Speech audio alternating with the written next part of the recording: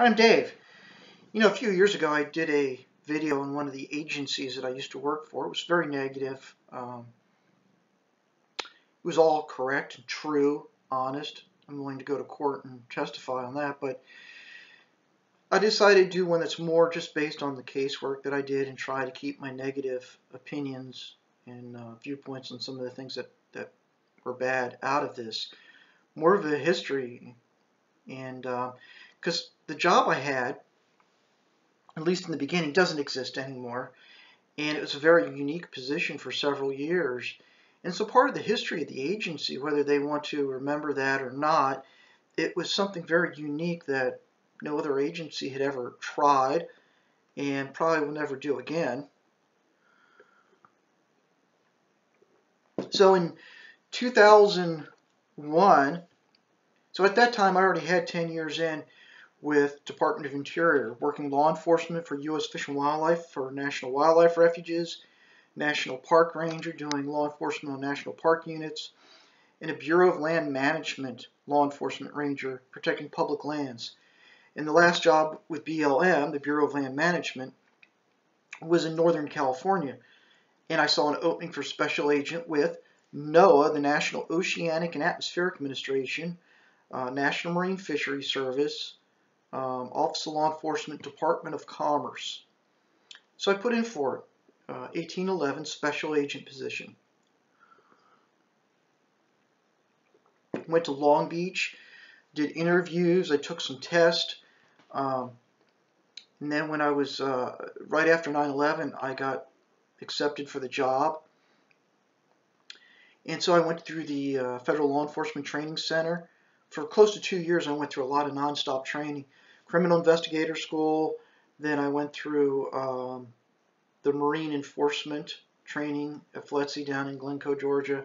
And then Net Basic was the basic for, for uh, NOAA. But I was put into a division, um, an Endangered Species Act Habitat Enforcement Division for salmon and steelhead. Very unique, had never been done in know before. Not, I mean, other agents had worked some ESA cases for salmon and steelhead, but this was the first time a division was created for that. That would do nothing else but that. And in my case, it would eventually include sturgeon as well. So what had occurred was uh, NOAA's got a biological side, Protected Resource Division, and then Habitat Conservation Division, HCD, and PRD. They had publicly, while um, in a meeting, had stated when someone asked, you know, why are salmon and steelhead going extinct? What are you doing? Doesn't appear that you're doing enough. And they said it's because law enforcement's not enforcing the law. And so the SAC, is Special Agent Charge, in Long Beach said, you know what, you just threw us under the bus publicly. Guess what? We're going to create a division that only investigates, and enforces Endangered Species Act rules and regulations. And you're going to assist us. Because if you choose not to, then we get to go public and say we were willing to work with our biological side, but they don't want our help. So this little tit for tat, we became a division within the law enforcement division. They brought down a former SAC to become an assistant special agent charge, and um, there were five of us. Let me just count again. Me, yeah, five agents, 1811 special agents. And our focus would be under this division primarily habitat cases. So they didn't really want us checking fishing licenses, but they wanted us to be out there doing these habitat cases. And then once our division got up and going, then we went through a lot of training on what they called, um, and I'm trying to think of the, the specific term, to get compliance with the law without non traditional law enforcement, is the term that they used.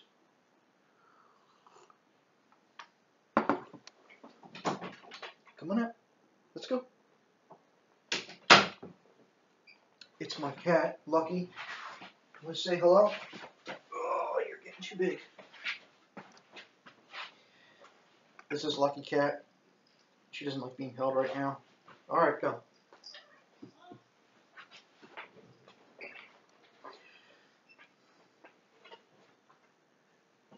So, they create this division. We go through this training on non-traditional law enforcement where we learn how to get compliance with the law without actually getting prosecutions. And one of the things to understand is what was hard was habitat violations mostly are coming from people who are not don't have any criminal intent to kill salmon. We're not talking about poachers.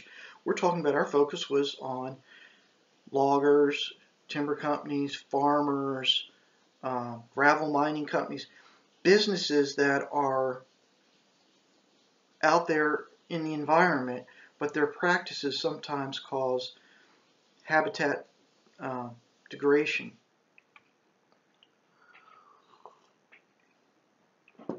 And so this is where it was complicated for a special agent. You're taught mostly to do criminal investigations, and here we're doing, we're, giving people really warnings. That was our main priority. But that was the main priority, but at the same time, if we had a good case against someone that really was an outrageous violator, um, then we would go after them.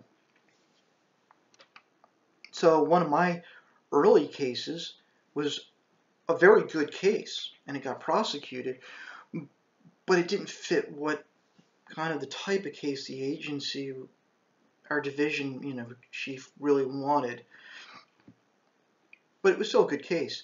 Um, I get a call from a game warden, California Department of Fish and Game, which is now called California Department of Fish and Wildlife. And they said, hey, Dave, you're the new agent doing salmon stuff. Hey, we just got a call somebody's doing construction work in a stream. I'm heading out there. I said, okay, yeah, I want to see it. I want to go out there too. Lindsay Creek, a, a tributary to the Mad River in Humboldt County. On the way, I stop and meet with the biologist, which this would become kind of a problem. Telling management, the biological side, I need a biologist now. Well, we need to talk whether this is a good use of their time. I said, no, I need them right now. I got a crime going on. They're coming with me. That one right there, is he available? Well, yeah, he can, but he's got some paperwork. I need him now. Right now. I got to have him now. Okay? Give me one hour. Give me give me one hour, two hours at the most. But I need him now. I'm, I'm literally, there's a crime in progress. I need him. It's a habitat case. And she was like, well, well uh, okay. And the biologist came with me. I said, this is what we've got. So I drive up, I meet with the game warden. So what had happened was in California, which is for such a liberal environmental state, people can tap into streams for their water supplies for their homes.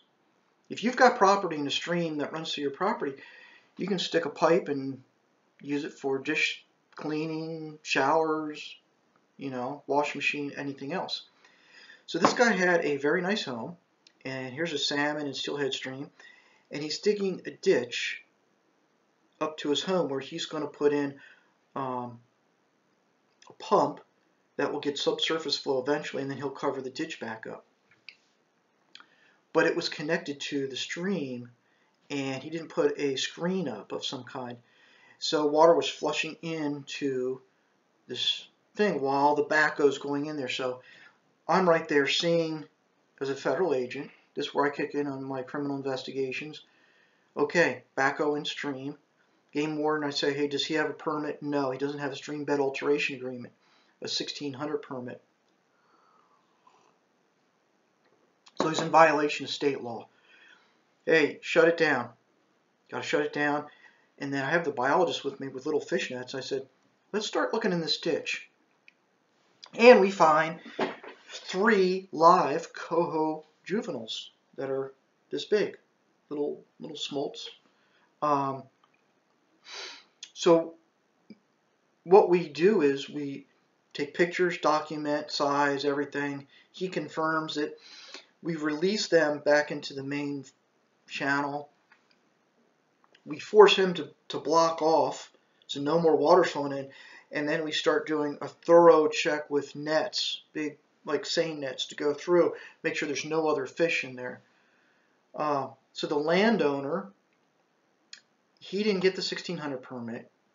So he was charged along with the backhoe operator who knew when during interviews that, yeah, before you dig into streams, you got to get a permit. We didn't feel like doing it because it would take too long. So, all right, going in. This case was a civil case, um, Section 9 of the Endangered Species Act.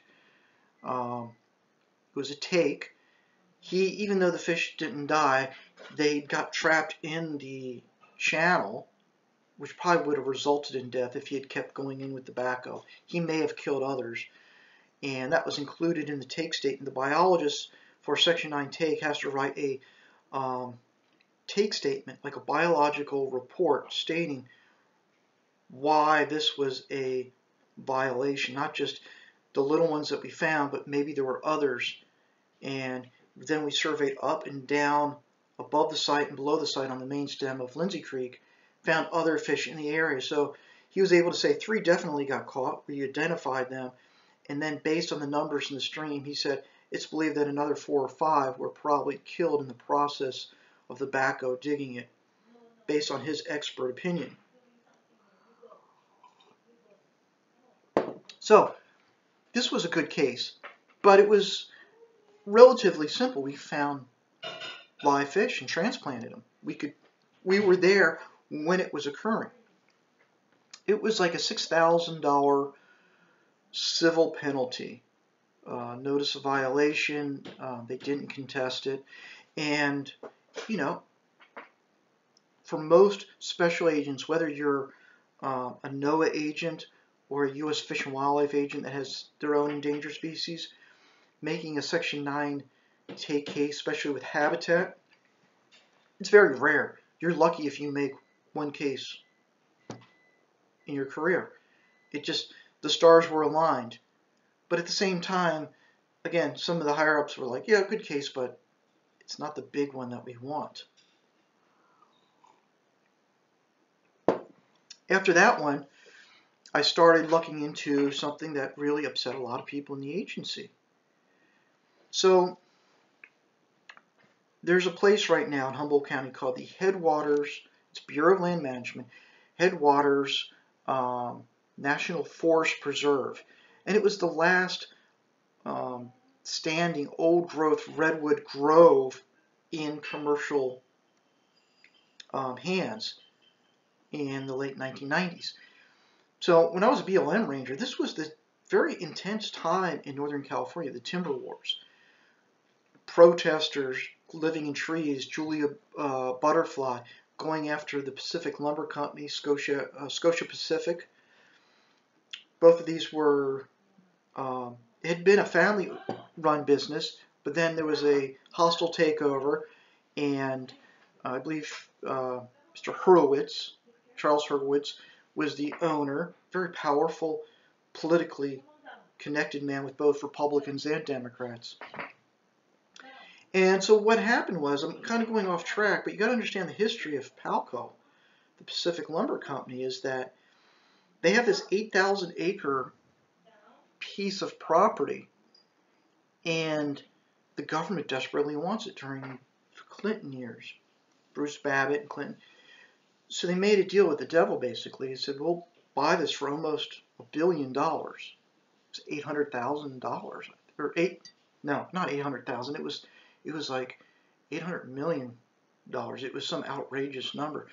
But it was out of the 7,000, 8,000 acres, 3,000 was original old growth timber. So they wanted to protect that old growth redwoods.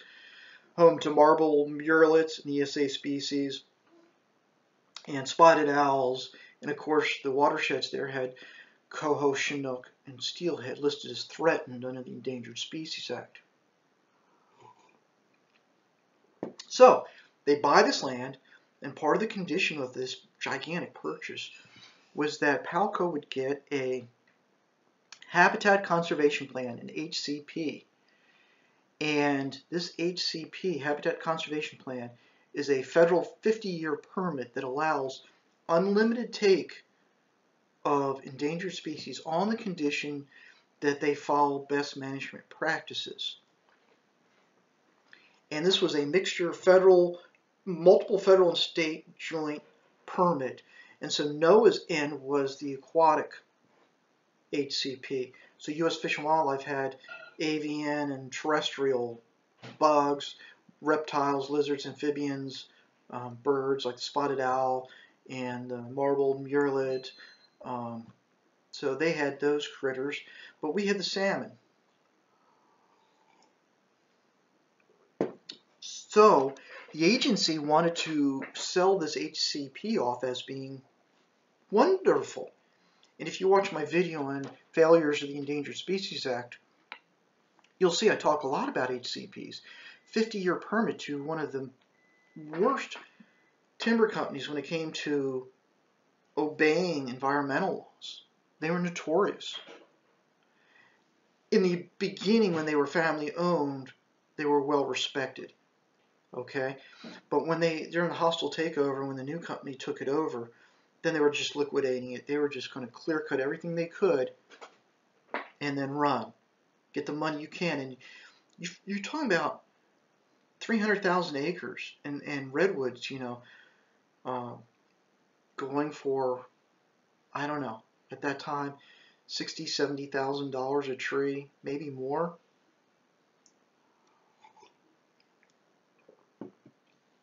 This was very political.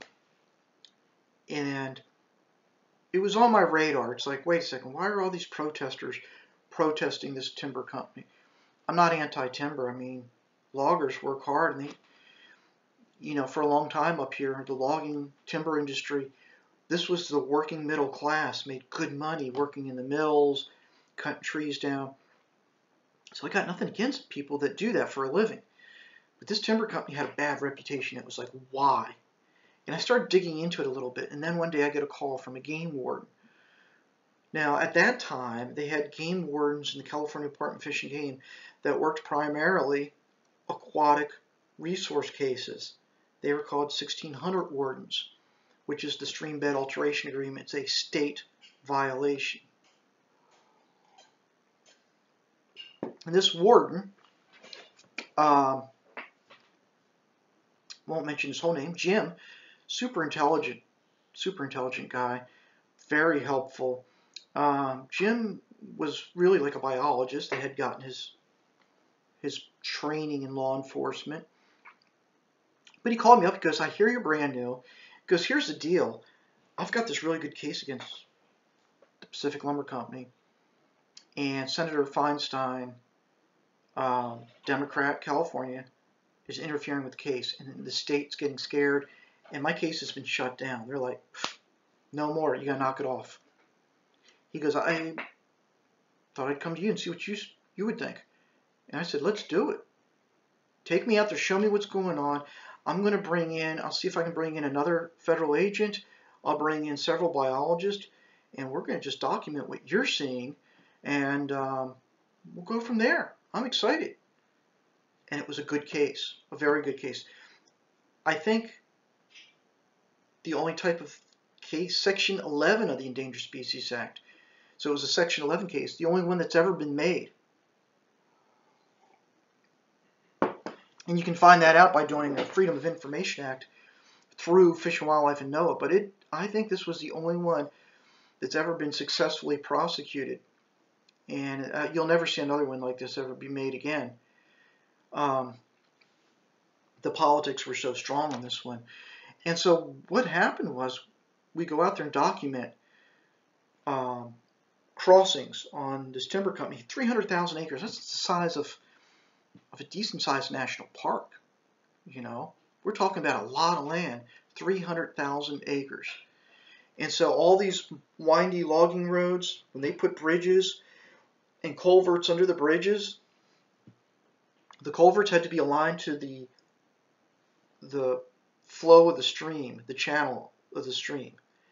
And so in many cases, in haste and not doing um, due diligence, timber company would put them in sideways. So it was flushing this powerful thing of water, especially in the wintertime, into the banks, causing erosion like an eddy and causing a lot of silt and mud to get into the, the stream, which then coats um, eggs from the redds of salmon and steelhead. It's like a silk blanket that just floats on top of silt, smothers them, and they don't get the oxygen they need. So you want to try to stop erosion as much as possible. And there was actually a book that I got that was, you know, the handbook on logging roads and ranch roads. And this was the standard that was used for the HCP on how roads would be built. So this is where it's getting kind of complicated as a, as a NOAA agent. Instead of learning about ground fish and fishing gear on boats, I'm learning to understand hydraulics and road building, culvert placements, and water bars, because all this goes back into um, dealing with putting silt, dirt, mud um, into the stream, which is not only does it clog the gills of adults and, and smolts, juveniles, but it's it's laying this like a blanket of mud on top of the eggs, the redd. We found culverts, where culvert you have roads going up these it's very mountainous here and so very steep roads and what would you they needed to do is put water bars so many feet water bars were like speed bumps so the water rain coming down hits them hits the water bar flows down and then you have you were supposed to have full pipes that would go you know maybe 50 yards and what they did is they put sometimes just half rounds they didn't put full water bars or they didn't put any um, any pipes at all, these, these culverts. A half round is just like this, where a full culvert goes like this. Sometimes they didn't even do that, and water would flow and dig, and then you'd have landslides, it's uh, sloughing with a whole side of a mountain, which is the the soils here in Northern California. It just we get so much rain in some areas, up to I mean I think it's up to like over 150 inches of rain, maybe 200 in some areas of Humboldt County. It's like a rainforest in the wintertime with hanging moss and and um, it's just it's amazing. But because of all these practices by the timber companies through decades, is that there's a lot of landslides. And so I had to prove that the landslides that were occurring were because of the poor maintenance and the noncompliance with the HCP on road construction. And so I was able to do that and working jointly with the state game warden, going to NOAA's civil attorneys, the general counsel. At first, they didn't really want to touch it, but then there was an amazing district attorney, um, Paul, last name H. Um, a great guy. I haven't talked to him in many years, but he called the NOAA attorney. He said, "This is bad. We have to set a precedence with this timber company. You have," and he goes, "I'm going after him for unfair business practices because they have this special um, incidental take that you gave them, but they're not following. So they're getting to kill endangered species." but they're not following your permit. So that's an unfair advantage over other timber companies that don't have HCPs. And he was able to talk the NOAA attorney into, okay, let's do a joint case. And the case was an $80,000 uh, joint case, civil criminal case. No, actually civil. It was a civil case. Unfair business practice, I believe, is a civil violation. And then NOAA's end of it. So it was sort of like Noah did $30,000 in fines and 50,000 went to the state. And um, really, again, that was for being a new special agent. That's a damn good case. And again, the only one that's ever been done And I can guarantee you it'll never be done again because the agency just doesn't have it in it to work this type of case anymore. There were some other incidents that were very difficult, showing how this this type of position was so unique and different. One case was I went out, got a report that a gravel mining company on the Mad River was in noncompliance, and the biologist made it like it's a big deal, they're killing fish. I went out there and toured with the biologist, and the biologist said, um, this big heavy equipment getting the gravel, big giant road grader, the guy comes out and goes, yeah, can I help you? And before I can even say anything, the NOAA biologist with his NOAA hat said, we're shutting you down right now. We're closing you down. You're killing fish. And, uh, you know, you're going to be arrested if you don't do this. And the guy's like ready to fight. He's like, you know, screw you. No. And I'm like, whoa, whoa, whoa, whoa. Time out, both of you. I said, sir, time out. I'm a federal agent. Okay? I'm an armed federal agent. I'm asking you just to stay by your equipment there. I'll talk to you in a second, okay? We're not shutting you down. I told the biologist, shut your mouth. I swear to God, I'll put cuffs on you. I said, we don't have the power to shut down business and industry. That comes from a court order. I can't shut something down unless I actually see dead fish, and there's no fish in the river at that time.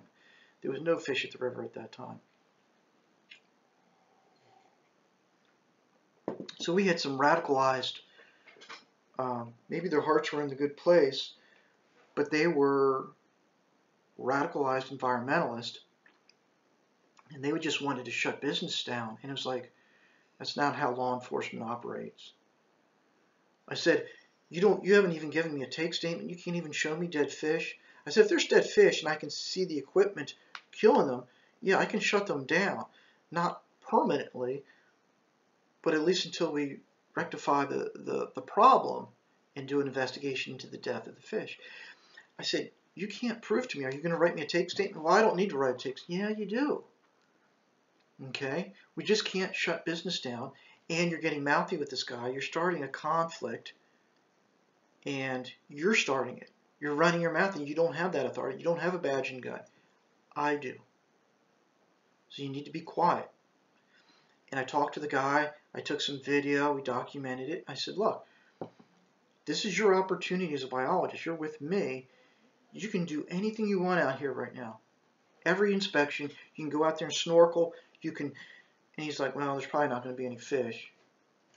Then why do you want to, come on in. Why do you want to do this then? You know, he didn't like gravel operations. And I said, no, we don't do that. We have a difficulty at this time dealing with the biological side and we're having numerous meetings, you know, with attorneys, and this is your responsibility, this is our responsibility. Uh, another incident where I had, and again I discussed this in my ESA video, dealing with a farmer who's running a pump, and he's dewatering a tributary to the Mad River, the North Fork Mad River, and he is causing a take.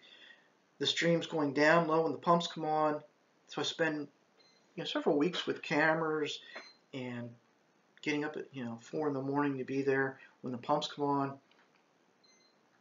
This one, I used the non-traditional law enforcement method. That was one of the methods that we are taught to use for ESA habitat cases. Because I meet with the farmer, and he's a nice guy. He's like 70 years old. And he, I sit down with him. He gives me his whole life story about coming from the Azores with almost nothing, becoming a farmer, and and he's just trying. He doesn't want to kill fish. He just wants to water his alfalfa, and he's pumping out of the North Fork. So I come up with a plan. I'm not a biologist, but I do have a lot of background in environmental issues. And I said, because there's a Y, so if you can imagine a Y, the main stem Mad comes like this, and the North Fork comes like this, and his pump is here. And I said, can you put your pump out in the middle, the Y, out in the gravel bar, dig a hole, put your pump down and get that subsurface flow. Because I don't know if I can do that. I said, well, I, give it a try. You know, see if you, it's going to take a little extra energy to get that because it's longer now, the flow and, and everything. But he does that. I spent another couple weeks documenting the difference between it being there at the North Fork and then in the middle. Being in the middle, it's having no effect on the North Fork. And so I correct the problem through this non-traditional law enforcement method of getting him to change his operations where he can still water his crops, but he's he's not killing endangered Chinook and steelhead. The problem is the biologists were mad at me and NOAA's civil attorneys were mad at me. So see, NOAA's civil attorneys, they need cases. We had an actual ESA attorney. And this attorney needed cases to justify their position. So they're angry because I'm not bringing them a case package. The biologists are mad because I'm coming up, I had invited them out. I said, what do you think, can we do this? And they said, no, not without, matter of fact, when I originally met with this guy, I said, have you tried to get an HCP, a habitat conservation plan? And his response was, and I checked it out and he was being honest, was he goes, they told me it would cost five or six thousand dollars and might take two years before I could get it. So in the meantime, I'd have several years where I couldn't water my crops, and I don't have that money. And it turned out he was right. That's what the biologist told. HCPs cost money. They don't do it for free. So the attorneys and the biologists on this particular case with this farmer wanted to take the information that they had and run with the case. And I had to basically get with my boss. Unfortunately, he stood up for me. He said, no.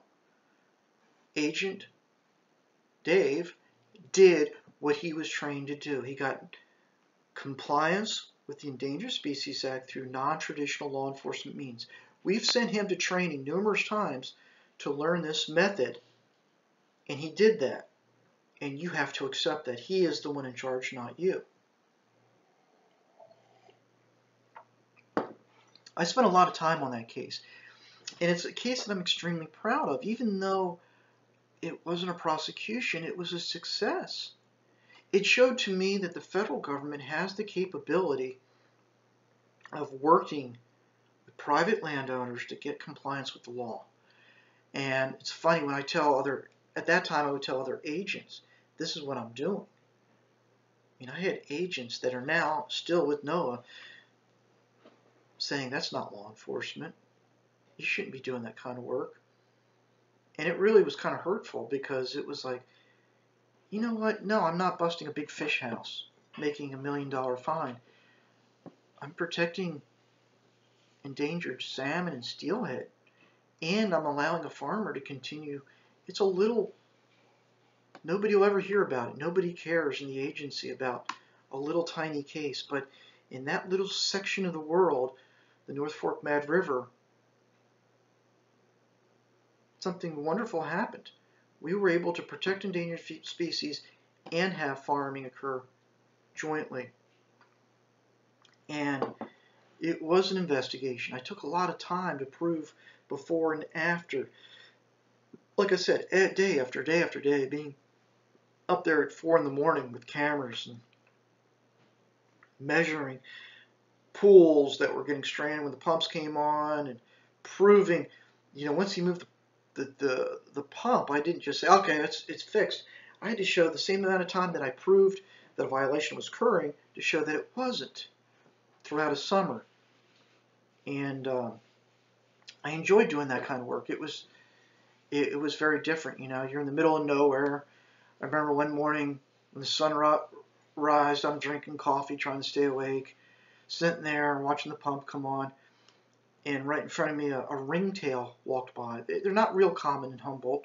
In California, they are. They're like a raccoon creature with a striped tail, but I never seen one before, and it was like, wow, this is cool. Another day I had river otters walk by and pine martens. So it was very neat to see, you know, the the wildlife of that area. And it's because I was out in the middle of nowhere and all kinds of crazy hours. sitting there watching this go on.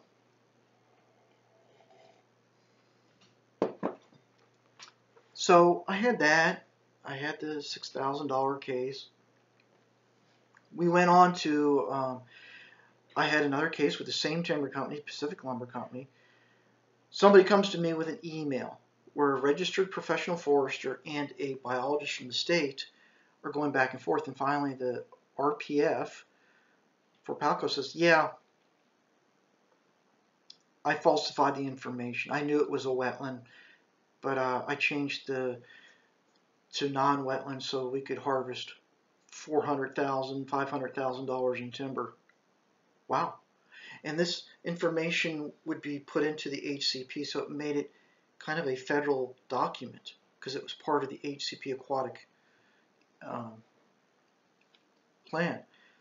And so I started a criminal investigation because that's a 18 USC United States Code 1001 false statements.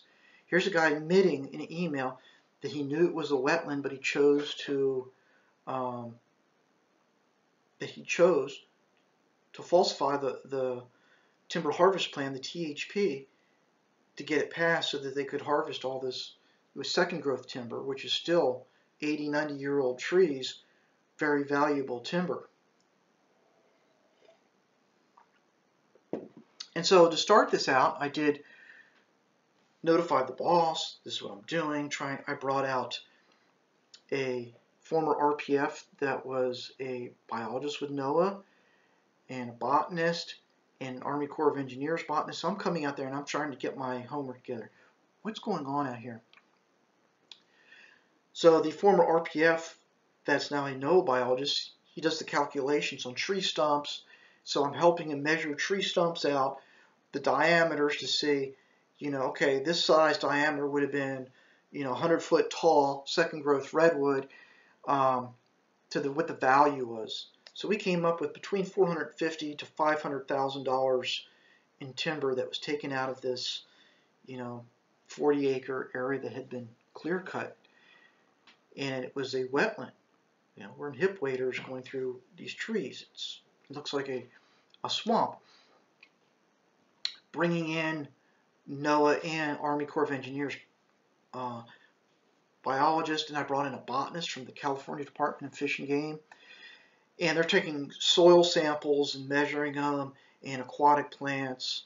And they're saying yes this is wetland habitat meaning that you know 80% of the year it's underwater. And it's been this way for at least 60 70 years. So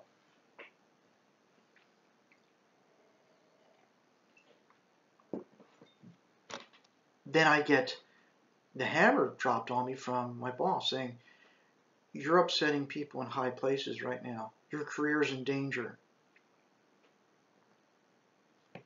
This is a good case. You want me to make cases as a special agent, but then you once I start getting things rolling, and I'm like, yeah, this is a good case. You're saying, uh, uh, uh, uh. You're upsetting people.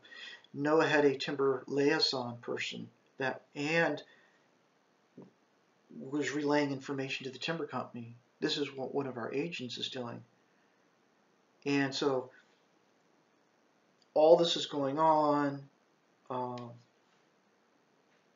Dianne Feinstein's office also called. What are you doing? Why are you harassing this you know company? Basically, they didn't say harass, but why are you?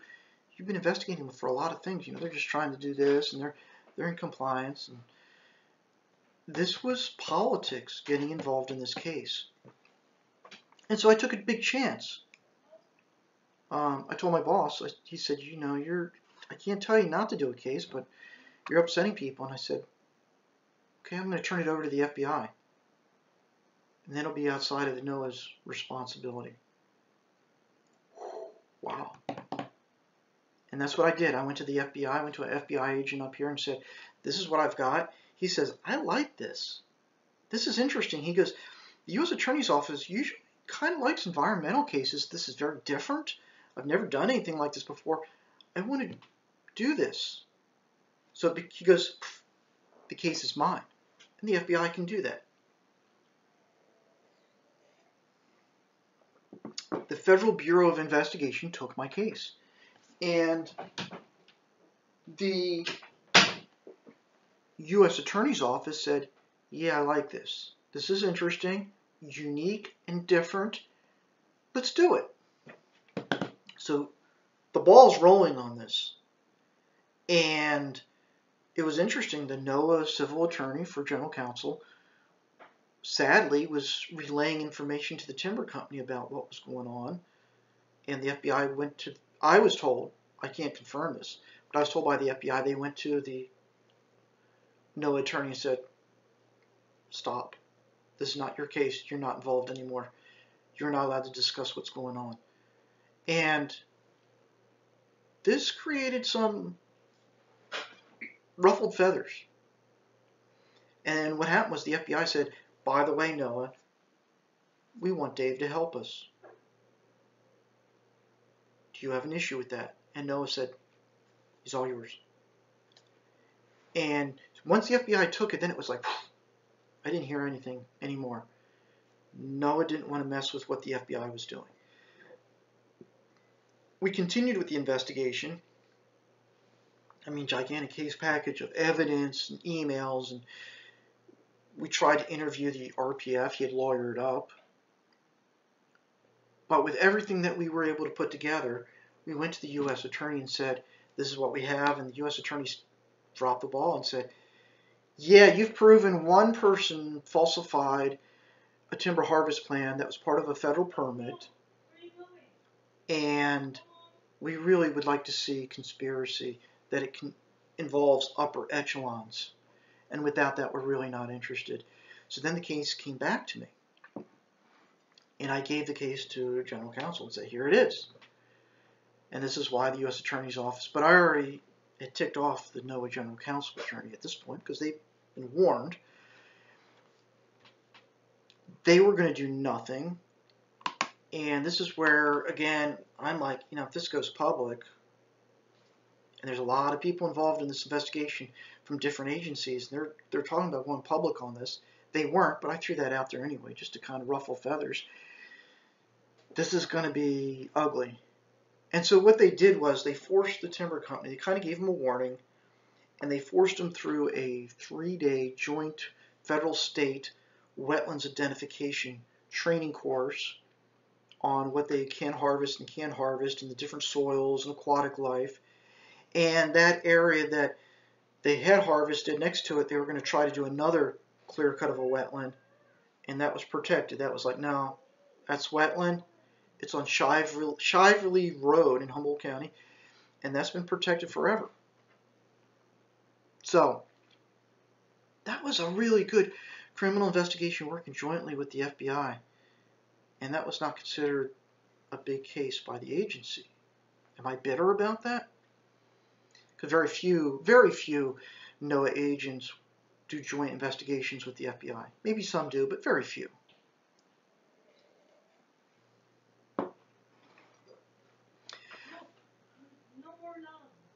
I'll get one in a second It's my wife. Wants another log for the fireplace. So, but at least it forced every worker from Palco, RPFs, everyone had to sit through this three-day course on wetlands identification. And I look at it and like, I did the best I could. Something came out of it. I saved some redwoods that should not have been cut.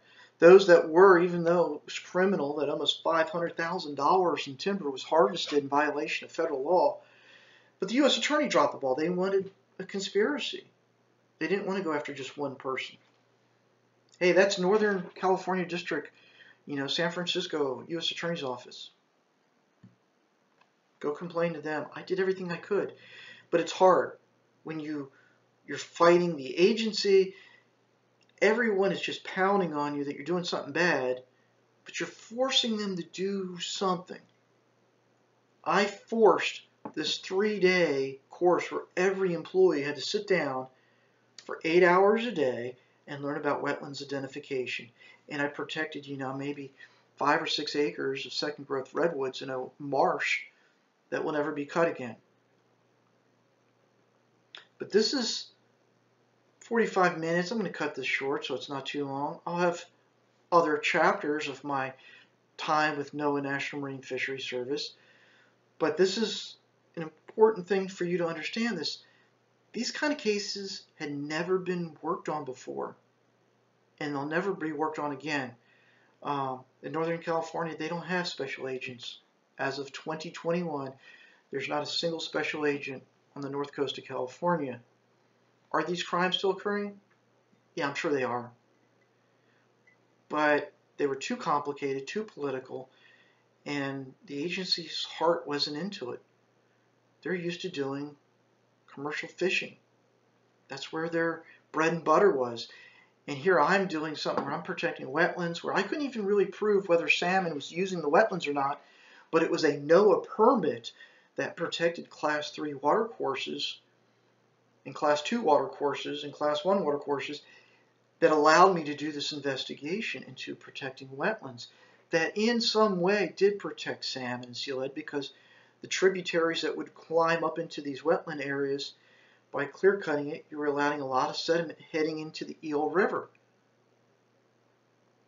But trying to explain that to somebody who's not on the West Coast, who doesn't understand habitat issues, they're like, why? There's no, you know, this is a waste of time. No, it wasn't a waste of time.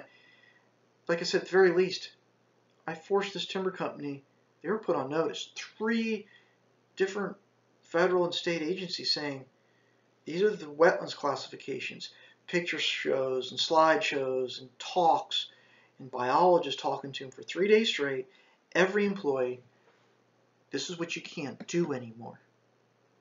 And that's because of me. I took a chance. And I'm very grateful that the FBI agent out there I won't mention his full name, Chris, wherever you are right now, took a chance to work on something that probably neither one of us would ever see again.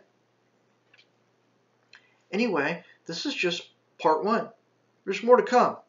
And thank you for listening. And if you're with NOAA right now, everything I say is true. And if I offend you, eh, you'll get over it. Have a good night.